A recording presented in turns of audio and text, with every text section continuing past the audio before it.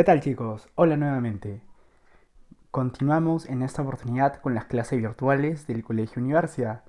Tú ya me conoces, quien te habla es el profesor Caleb Arias del curso de literatura y en esta oportunidad estaremos desarrollando el capítulo número 2 que viene a ser el tema de literatura medieval italiana. ¿Ok?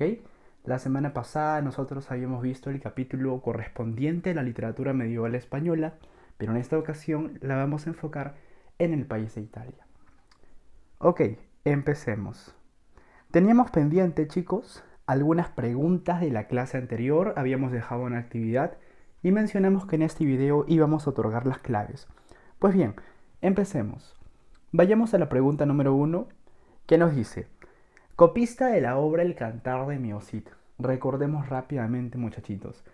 Recuerda que el Cantar de Miocid estaba difundido de manera oral pero hay un personaje muy importante que lo va a transmitir al código escrito. ¿Recuerdas quién era ese personaje? Muy bien, ese personaje era el señor Per Abad. Así que la clave aquí es la C. Muy bien, 1, clave C. Vamos con la pregunta número 2. ¿Qué obtiene el Cid al vencer al rey Búcar? Recuerda que el Cid es un gran conquistador y va a librar muchísimas batallas para poder tener bajo su poder a grandes ciudades y también obtiene recompensas muy interesantes como las espadas. En este caso, cuando el Cid vence al rey Búcar de Marruecos, obtiene la famosa espada tizona. Ok, no lo olvides, muy bien. La espada tizona. Entonces la clave aquí sería la B. Así es. Vayamos a la pregunta número 3, chicos. Seguimos avanzando. ¿Quiénes son los personajes, nos dice la pregunta, que se reúnen a orillas del río Tajo. Si tú recuerdas el cantar de Miocid que nosotros revisamos la clase pasada, te darás cuenta de que este episodio pertenece al segundo cantar. En el segundo cantar Miocid ha enviado un regalo, como lo suele acostumbrar a su rey Alfonso, y le ha pedido que por favor ambos puedan reunirse a orillas de un río. Allí Miocid es perdonado por el rey. Entonces, los personajes que van a participar en esta reunión son el rey y el Cid. Clave B. Continuemos chicos, vamos a la pregunta 4. La rima utilizada por el Mester de Clarecía nos dice esta pregunta. Recuerda tú que en la literatura española existen dos mesteres. El Mester de Juglaría, el cual está difundido por este poeta popular llamado Juglar, y también existe el Mester de Clarecía, el cual está difundido, ¿no es cierto?, por los clérigos, los trovadores. Es una literatura culta. Nos habla la pregunta acerca de la rima. Recordemos, la rima para el Mester de Juglaría era una rima de carácter asonante. Esto quiere decir que solamente se repetían los sonidos de las vocales. Pero aquí nos pregunta por el Mester de Clarecía. En el caso del Mester de Clarecía, chicos, la rima va a ser de carácter consonante. ¿Qué quiere decir? Que todos los sonidos suenan exactamente igual, ¿no? Habíamos puesto de repente un ejemplo en la primera clase, ¿no? La palabra luna con la palabra cuna. Suena exactamente igual. ¿Ok? Entonces la clave sería la B, rima consonante. 5. ¿Cómo fueron engañados los judíos Raquel y Vidas? Esta situación pertenece al primer cantar. Recuerda que Martín Antolines, uno de los amigos más leales de Miocid, tiene que conseguir recursos para que el Cid pueda continuar con su peregrinaje. Entonces lo que hace es un trato con unos judíos y les lleva un cofre, ¿no? Martín les dice que aquel cofre está lleno de tesoros y que los judíos van a tener la oportunidad de cuidarlo, pero en realidad recuerdas que tenía ese cofre Claro, ese cofre solamente estaba lleno de arena, imagínate, ¿no? Entonces los judíos pensaron que allí encontraron, iban a encontrar un cuantioso tesoro, pero no, solamente había arena, chicos. Entonces la clave sería la C. Vayamos a la 6. Señala lo incorrecto del cantar de Miocid, nos dice esta pregunta. A ver, vayamos con la primera clave. Carácter popular, eso es correcto. El Miocid está difundido por el juglar y el juglar cultiva una literatura de carácter popular, llega a gran cantidad de público. La B. Uso de la cuadernavía, eso también es correcto, chicos. La cuadernavía va a ser la estrofa utilizada por el clérigo, por el mester de clarecía, ¿no es cierto? Esa, ese tipo de estrofa no le pertenece al cantar de Miocid, por eso marcamos la P. ¿Ok? Eso no es correcto con respecto a Miocid. La C, métrica irregular, rima sonante y cantar de gesta, sí son características que le corresponden a este cantar español. Continuemos. Nos dice aquí, creación del cantar de Miocid, ¿en qué ciclo? Nos dice la pregunta. Bien, recordemos, el mester de juglaría, que tiene como función difundir los cantares de gesta, surge aproximadamente en el siglo XII, ¿no es cierto? En el siglo XII surge el mester de juglaría. Entonces, el cantar de Miocid es una obra que se enmarca dentro de este mester, por lo tanto la respuesta sería la B, siglo XII. 8. Personaje importante del cantar de Miocid que es liberado en el primer cantar. ¿Recuerdas tú que hay un conde al cual el Cid logra vencer? Y obtiene la famosa espada colada. Ese conde es el famoso conde Ramón de Berenguer. La clave es la C, chicos. Muy bien, yo sé que tú has contestado correctamente las preguntas. 9. Hecho que determina la cobardía de los infantes. Recordemos. Los yernos de Miocid, ¿no es cierto?, van a sufrir burlas por parte de los demás caballeros. ¿Por qué? ¿Por qué sucede esto, profesor? Porque se escapa un animalito. ¿Recuerdas cuál es? Claro, efectivamente, se escapa este león y aparece en la sala, ¿no es cierto? Y los infantes corren, ¿no? Atemorizados. La cobardía de los infantes se debe a causa de la escapada del león. Clave C.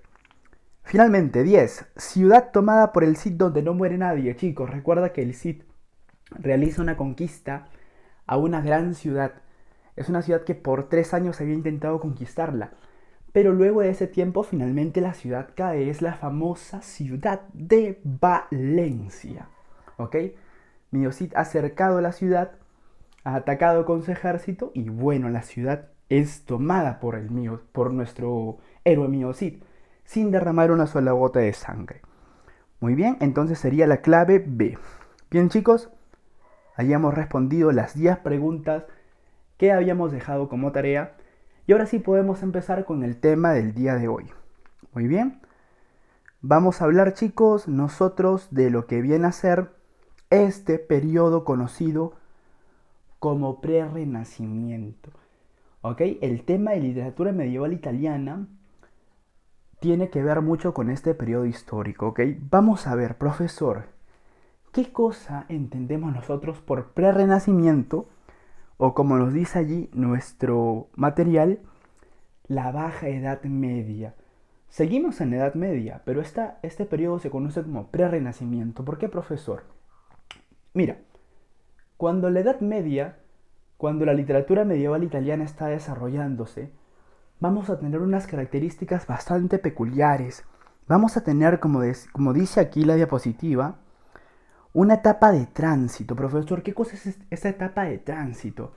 Quiere decir que las cosas están comenzando a cambiar, que está culminando un periodo y muy pronto va a comenzar otro. ¿Así, profe? Claro. ¿Cuál es este periodo que culmina entonces? La Edad Media culmina y va a dar pase a otro movimiento, al famoso Renacimiento. Entonces, esta etapa en la que la Edad Media va a culminar y el Renacimiento inicia, esta etapa puente se denomina pre-renacimiento o baja Edad Media. Por eso decimos que va a haber la convivencia entre un pensamiento. ¿Qué tipo de pensamiento? El teocentrismo. ¿Recuerdas qué era el teocentrismo? Muy bien, el hecho de situar a la religión, de situar a Dios como el centro de todo el universo. Pero también va a surgir en este tiempo una ideología muy importante, que tú lo vas a poder ver en tu curso de Historia Universal. Esta ideología se va a llamar el famoso humanismo. ¿Qué es el humanismo, profesor? El humanismo es la ideología que tiene como centro de atención al hombre. Le interesa sus manifestaciones racionales, culturales, artísticas, analizar al hombre en toda su dimensión. Y este humanismo, chicos, va a ser el que pronto origine otro movimiento que vamos a ver más adelante. esta pintura te es muy familiar, ¿verdad? Claro, es una pintura que le pertenece, ¿no es cierto? A un autor renacentista, ¿verdad? La creación, ok, es una pintura renacentista. Entonces, allí tenemos el contexto histórico, no lo olvides, pero el renacimiento termina la Edad Media y empieza a surgir el renacimiento. Allí nos vamos a ubicar, chicos, ¿ok? Perfecto, continuemos. Muy bien, tenemos que revisar nosotros lo que viene a ser el famoso Trecento italiano. Profe, ¿qué es el Trecento italiano? El Trecento, chicos, va a ser este periodo del siglo XIV, ¿ok? El siglo XIV se ubica alrededor de los años 1300. De allí viene la palabra Trecento, de 300. En este siglo XIV, chicos, como te vengo explicando, la Edad Media está llegando a su fin y está surgiendo el humanismo. Y en Italia vamos a tener a tres grandes autores, tres autores muy importantes que van a contribuir de una manera abismal a la formación de una literatura diferente. ¿Quiénes son estos autores, profesor? Bien, allí te los presento. Tienes aquí a Francesco Petrarca. Empecemos hablando de él, ¿ok? Chicos, Petrarca va a tener una función muy importante. Es considerado el padre del humanismo, ¿ok? Es una figura muy interesante para poder dar pase al Renacimiento. Petrarca va a interesarse mucho por la poesía, va a interesarse mucho por esta forma expresiva. Como Petrarca destaca en poesía, vamos a decir que cultiva mucho el género lírico. ¿Ok? Muy bien. Petrarca estuvo enamorado de una señorita que va a ser el motivo de su inspiración. Esta señorita, ¿no es cierto?, va a producirle a Petrarca hermosos versos, Petrarca expresa su amor por ella cuando está viva, pero lamentablemente esta dama fallece y deja en Petrarca un sentimiento de vacío, un sentimiento de dolor, pero Petrarca continúa escribiéndole. Petrarca escribe las famosas rimas en vida de Laura y también las rimas en muerte de Laura. Toda esta colección de rimas que él le va a dedicar a su musa Laura de Noves se va a denominar cancionero. El cancionero es la poesía amorosa de Petrarca.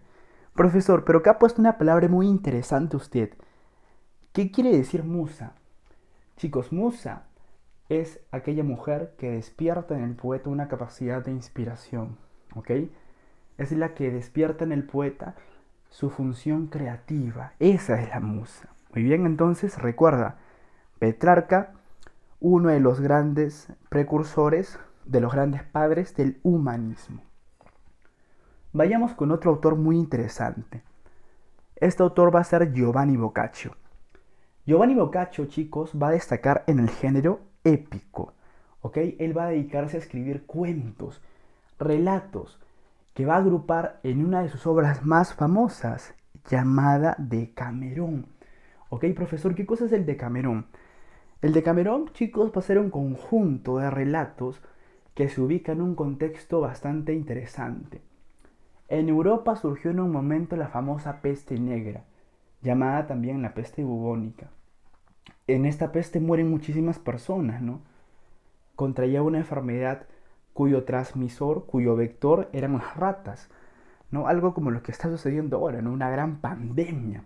Entonces, Boccaccio va a decirnos que en esta pandemia, siete jóvenes, siete varones y tres señoritas salen de la ciudad y se van a ir a las afueras, llegan a, una especie de palacio en la cual van a refugiarse y como quieren matar el tiempo, como quieren tener algo que pueda este, combatir su aburrimiento, comienzan a contar historias. Cada uno llegado a la noche tiene la función de contar una historia y van a pasar 10 días en ese castillo. Entonces, si por cada día se cuentan 10 historias, ¿cuántas historias en total tenemos? Exacto, son 100 historias que agrupa el Decamerón, ¿no? Deca viene allí del prefijo 10, ¿no es cierto? ¿no? Múltiplo de 10, el 100. Entonces, por estas cualidades de Boccaccio, por crear toda esta, todo este conjunto de cuentos, que van a retratar muy bien la sociedad de su tiempo, se le considera como el padre del cuento moderno. ¿Ok? No olvides ese dato. Entonces tenemos a Petrarca, tenemos a Boccaccio, pero vamos a tener a un autor muy interesante, muy clásico, que tú estoy seguro que lo has oído mencionar en algún momento. Exacto. Es el famoso Dante Alighieri. Muy bien. Profe Dante, el mismo que escribió la famosa Divina Comedia. Ese mismo, muy bien. Su máxima obra fue la Divina Comedia. Dante, aparte de esta obra, va a escribir otras composiciones que también eh, tienen gran trascendencia. Por ejemplo, Dante va a empezar declarándole su amor o expresando su amor por una persona que también fue su musa, ¿ok? La musa de Dante, chicos, se va a llamar Beatriz, Beatriz Portinari, ¿ok?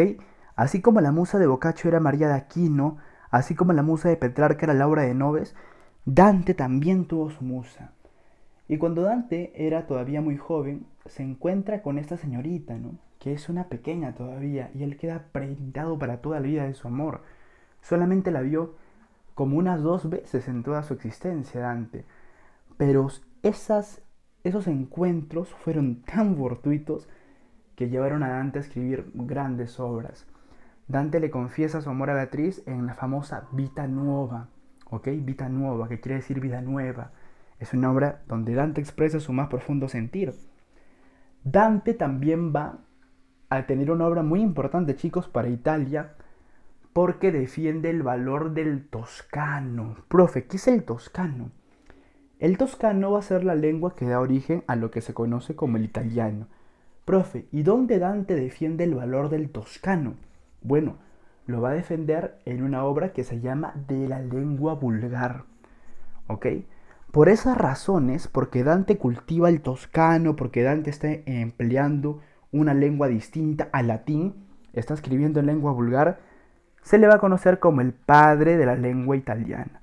¿Ok? Es el padre de la lengua italiana. Y bueno, él lo va a destacar sobre todo en el género épico, porque el género épico pertenece a su mayor obra, la Divina Comedia. Así es, muy bien. Continuemos chicos. Bien, vamos a brindar otros datos interesantes acerca de Dante Alighieri. Bien, Dante Alighieri, chicos, va a ser una persona que va a conocer muchísimo, sintetiza varios conocimientos de la época medieval. Dante sabe acerca de política, sabe acerca de religión, sabe acerca de filosofía. Como es un hombre tan erudito y culto, se va a ganar el apelativo de él a Aristóteles moderno. ¿Ok? Así se le conoce a este gran escritor. Dante también fue muy activo políticamente. Va a participar en las luchas políticas de Italia. Italia estaba dividido entre dos grupos políticos, los güelfos, que apoyaban al Papa, y los gibelinos, que apoyaban una monarquía en Italia, ¿no es cierto? Dante va a optar por ser un güelfo, ¿ok? Pertenece a este partido político y los güelfos se dividían en blancos y rojos. Dante va a ser un güelfo blanco, ¿bien? Luego, con el paso del tiempo, cambiaría de bando y Dante simpatizaría con los gibelinos, ¿ok? Chicos, esta experiencia política que tiene Dante le va a motivar muchos conflictos y lo van a perseguir. Por eso Dante es desterrado, sufre exilio y muere en Ravenna, ¿ok? Profe, ¿y literariamente cuáles son los aportes de Dante? Bueno, Dante va a integrar un movimiento poético muy famoso en Italia por ese tiempo. Este movimiento se va a llamar el Dolce Stil Nuevo, que traducido al castellano es el dulce estilo nuevo. Estos poetas se caracterizan por cultivar una poesía de carácter amoroso, en la cual su principal interés, chicos, va a ser la mujer ellos consideraban a la mujer como un ser idílico, como un ser bello, como un ser angelical, ¿no? Como una doña ángel, como una donna angelicata, como dirían en Italia, ¿no?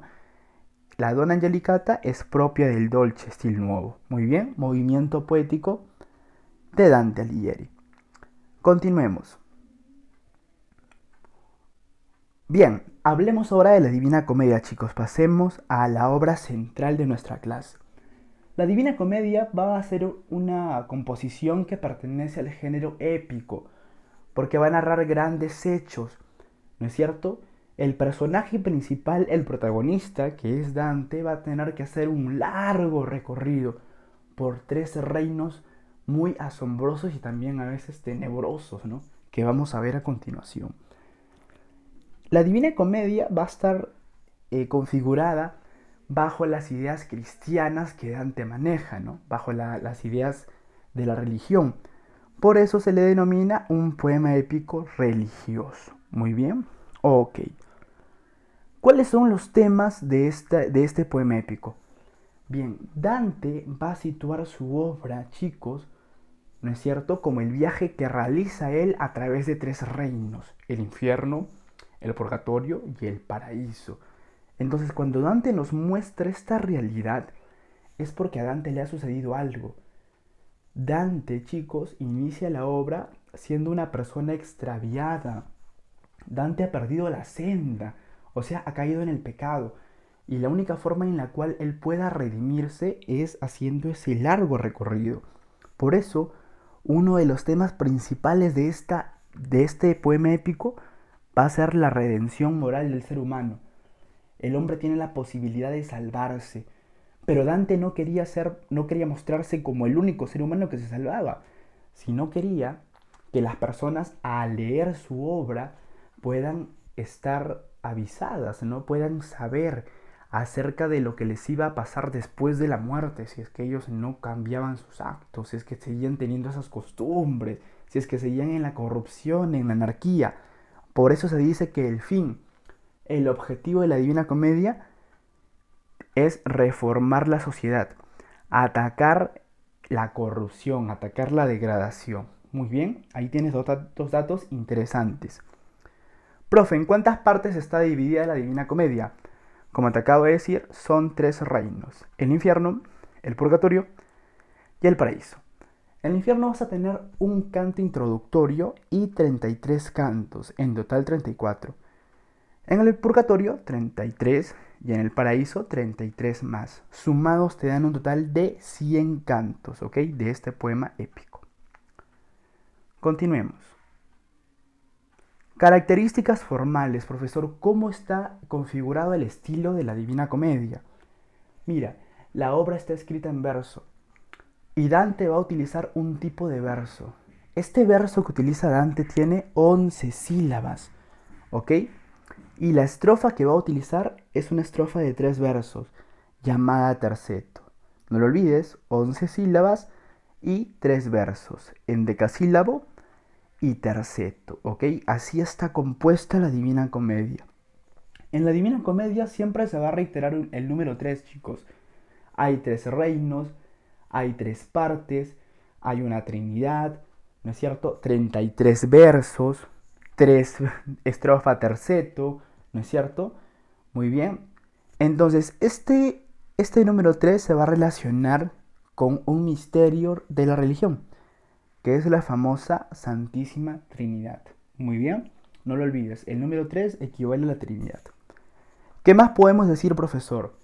La Divina Comedia, chicos, se va a caracterizar por emplear alegorías. ¿Qué es una alegoría, profesor? Es un símbolo. ¿Ok?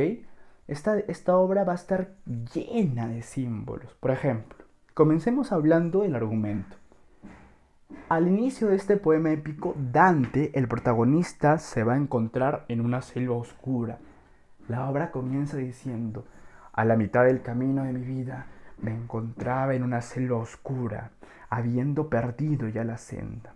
¿Qué quiere decir esto? A la mitad del camino de mi vida quiere decir que Dante tiene aproximadamente 35 años y se encuentra, ¿no es cierto?, en una selva que va a representar el pecado, va a representar la partición del hombre. Por ende, si Dante ha caído en la selva y la selva es el pecado, Dante es un pecador, obviamente, claro que sí. Entonces Dante quiere avanzar por esa selva pero inmediatamente se le aparecen tres fieras, chicos. Una fiera de movimientos ligeros y sensuales, que va a ser la famosa pantera. Por eso la pantera es el símbolo de la lujuria. Aparece también una loba, que simboliza la avaricia. Y aparece un león imponente y fuerte, que simboliza la soberbia. Dante está acechado por estas tres fieras. no tiene escapatoria, no tiene salida, siente que está perdido. Pero alguien viene a su ayuda, alguien viene a su rescate, un autor romano, un autor latino muy importante, cuya composición fue la Eneida. Este autor viene a salvarlo de sus pecados y sus errores. Más adelante nosotros vamos a conocer que este autor fue enviado por la misma musa de Dante. Así es, por Beatriz, muy bien. Profesor, ¿cómo se llamaba este autor? Bueno, era un, era un personaje que despertaba mucha admiración en Dante. Va a ser el famoso Virgilio, símbolo de la razón. ¿Ok? Muy bien. Dante va a iniciar el viaje con Virgilio a través de los tres reinos, pero cuando llega al paraíso, cuando va a llegar, ¿no es cierto?, a este reino, Virgilio no puede entrar, chicos. ¿Por qué? Porque Virgilio vivió en una época anterior a la de Cristo, y por lo tanto Virgilio no ha sido bautizado, así que es un pagano, ¿no? No obstante, Dante lo sitúa como el prototipo de la razón. Virgilio es aquel que ilumina a Dante, no le dice qué camino debe seguir, por dónde deben transitar. Y bueno, la musa de Dante, porque Dante se va a encontrar con su musa también, es Beatriz, que simboliza la fe y la gracia, ¿ok? La gracia divina, la fe, el hecho de poder creer. Y más adelante veremos también un personaje que es San Bernardo, con el cual Dante llega a presenciar incluso la gloria tan excelsa de Dios. San Bernardo obviamente simboliza la santidad. Sigamos chicos. Muy bien. Pasemos a los reinos ahora. Profesor, el primer reino que visita Dante obviamente es el infierno, ¿no es cierto? Muy bien. Entonces vamos a ver cómo está configurado. Tenemos aquí nosotros estas tres estas tres cruces, ¿no es cierto?, que simbolizan el Viernes Santo, ¿no es cierto? Para Dante, el infierno se situaría debajo de la ciudad de Jerusalén, ¿ok? Entonces, en un Viernes Santo, Dante inicia su recorrido. Y aquí está la selva oscura donde Dante se hallaba perdido, ¿verdad? Después que Dante y Virgilio han salido de esta selva oscura, llegan hacia un lugar donde van a tener que descender. Ese lugar es la famosa puerta, Bien, la puerta del infierno, ¿no es cierto? Van a ver una entrada donde está colgado un cartel que dice, por mí se va el dolor eterno, por mí se va la perdición. Aquellos que traspasen esta puerta, ¿no es cierto? La puerta que ves aquí. Aquellos que traspasen esta puerta pierdan toda esperanza, ¿no? La puerta aquí. Aquí está la puerta del infierno. Entonces ingresan y van a ver que en, los primeros metros del infierno encuentran a personas que no hicieron el bien y que tampoco hicieron el mal. Son los indiferentes, ¿no? Su vida carece de sentido. Cruzan toda esa, región y van a llegar a un río, al famoso río Aqueronte, donde hay un barquero Carón que va a cruzar a las almas. Pero Carón se da cuenta, o Caronte se da cuenta de que Dante eh, está vivo, no es un alma no lo quiere transportar, lo transporta solamente porque Virgilio se lo pide. Muy bien. Llegan entonces al primer círculo, que es el círculo de los no bautizados. En el círculo de los no bautizados están todos aquellos que vivieron antes de Cristo. Los grandes filósofos como Aristóteles, como Tales, como Platón y también está el gran Virgilio. Virgilio pertenece a este círculo. No son castigados pero no van a poder ver a Dios porque no, lo han, tenido la oportunidad de conocerlo. Bueno, después de atravesar este primer círculo, llegan al segundo círculo, el círculo de los lujuriosos. Muy bien. En el círculo de lujuriosos, ¿ok?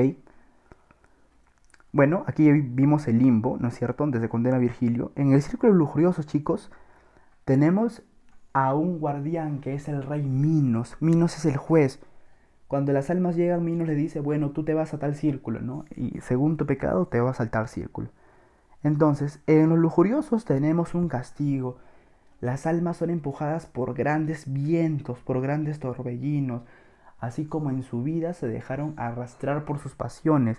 que es un lujurioso? Aquel que siempre le dio lugar a sus deseos sexuales, ¿no es cierto? Muy bien. Aquí está un personaje que es Aquiles, que es Cleopatra, también está Elena, ¿no es cierto? ¿no? Personajes históricos, ¿ok? Y hay una pareja de italianos que son Francesca de Rimini y Paolo Malatesta, que también están allí.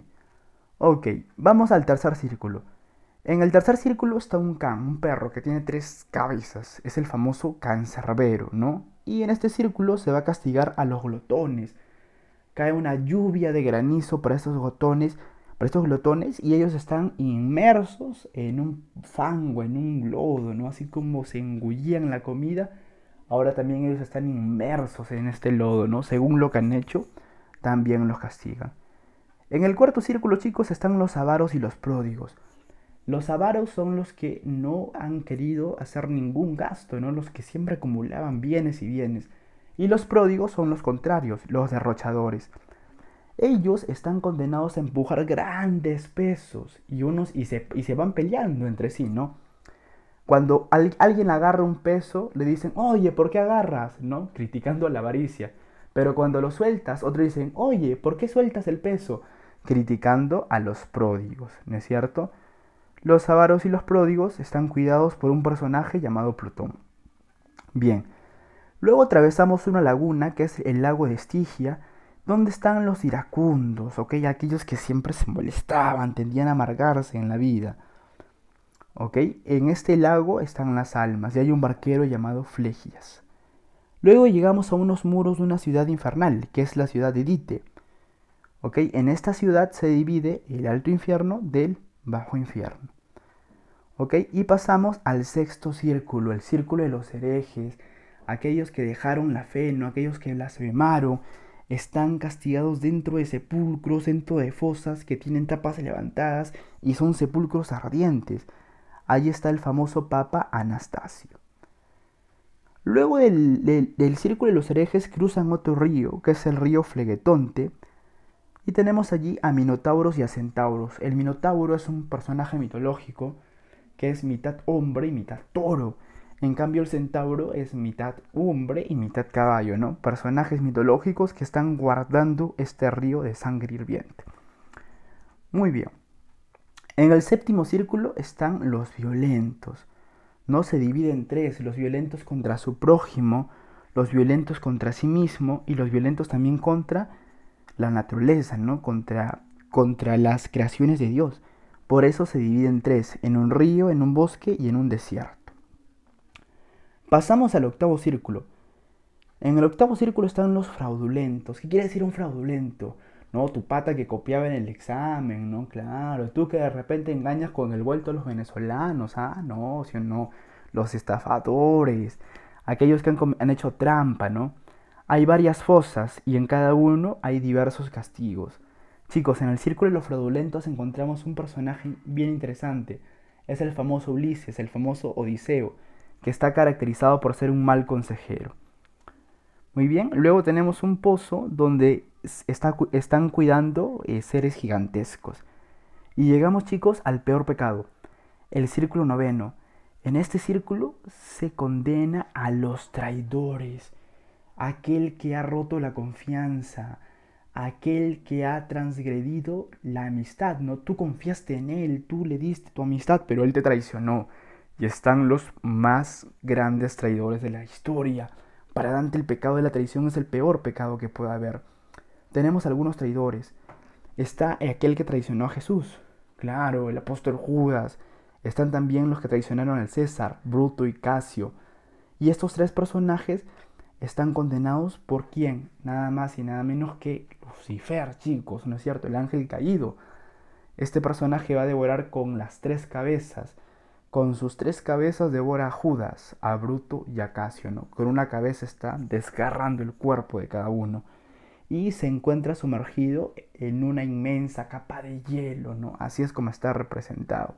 Entonces, una vez que han descendido todo este infierno, llegan a lo que se conoce como el centro de la Tierra, ¿no? Y allí continúan su viaje, ¿ok? Siguiente reino. Tenemos al famoso purgatorio. Bien chicos, el purgatorio, a diferencia del infierno, no desciende. Si tú te das cuenta acá el infierno, ¿no? Tiene un carácter descendente. Es como un cono invertido, ¿verdad? Aquí vas descendiendo según la gravedad del pecado.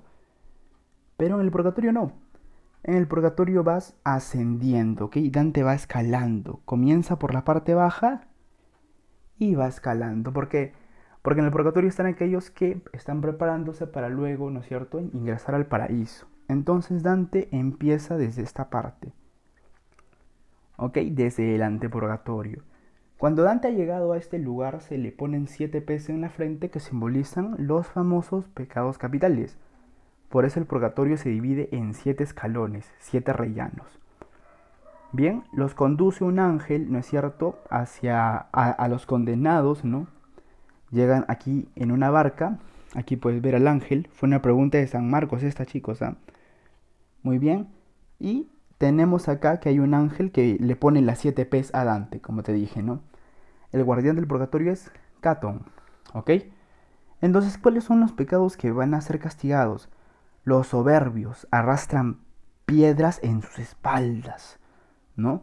Su soberbia siempre les hacía sentirse grandes y por eso van a arrastrar grandes piedras, ¿no? Así como, como fue tan grande tu soberbia, será tan grande tu, tu castigo, ¿no es cierto?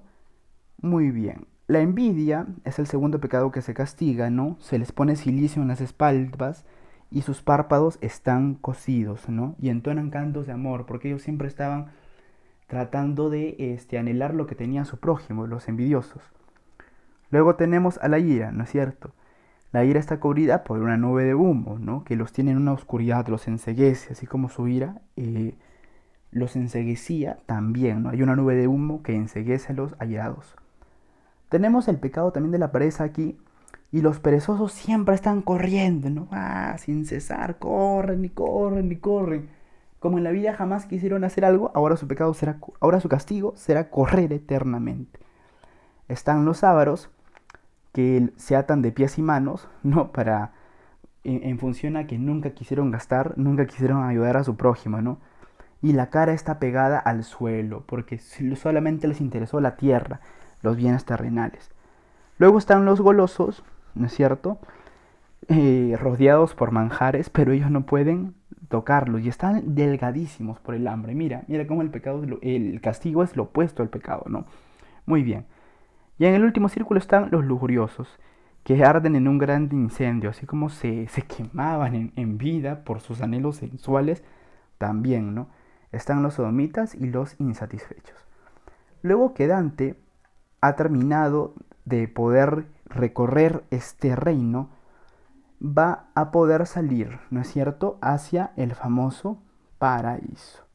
Muy bien, se baña en las aguas del río Leteo y puede ascender al paraíso. Y allí, chicos, Dante cambia de guía. Exacto. Su guía ya no va a ser Virgilio. ¿Quién va a ser? Va a ser Beatriz. Ya ha llegado a este famoso reino. El reino de el paraíso. Muy bien. También Dante asciende. Dante va a pasar por muchos cielos. Cada cielo está representado por los planetas o por los satélites. En el primer cielo, que es el cielo de la luna, ¿no es cierto? Están los que no cumplieron sus votos de castidad. Aquellos que juraron mantenerse vírgenes, pero no pudieron hacerlo. Sin embargo, se arrepintieron de esos pecados, ¿no? Quienes tuvieron falta de voluntad están en esos cielos. Luego viene el cielo de Mercurio, ¿no? Están los que alcanzan fama y gloria con sus buenas acciones.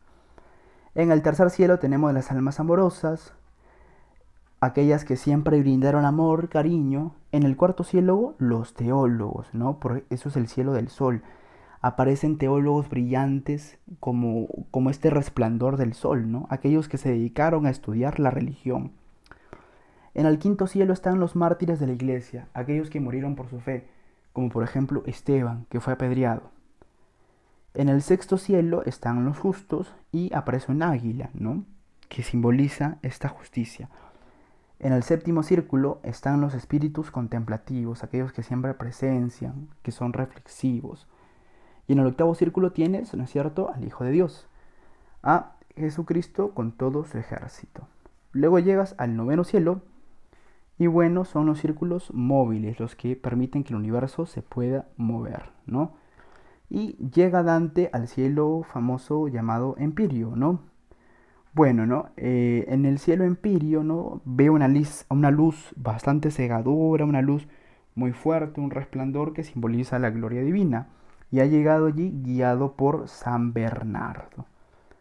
Muy bien, entonces es el cielo empirio, recuerda, donde está eh, el resplandor, ¿no es cierto?, de, de Dios, ¿no? Todopoderoso. Ok, perfecto. Por eso dice acá que hay una representación de la Trinidad. Entonces ese es el largo viaje que Dante hace para poder redimirse y para poder alertar también a aquellos que todavía están en pecado, a que puedan eh, arrepentirse, ¿no? que, a que puedan acceder a reformar su vida, si no todas estas cosas le van a ocurrir. ¿no? Entonces Dante propone ese tratado, esta obra magistral que ha llegado hasta nuestros tiempos y que bueno, eh, ahora tú la conoces, tienes más información sobre ella y puedes también ¿no? resolver a continuación como hemos puesto aquí en la actividad, las preguntas de la página 112 de tu compendio, ¿no? Allí tienes una imagen, ¿ok? De tu compendio universidad.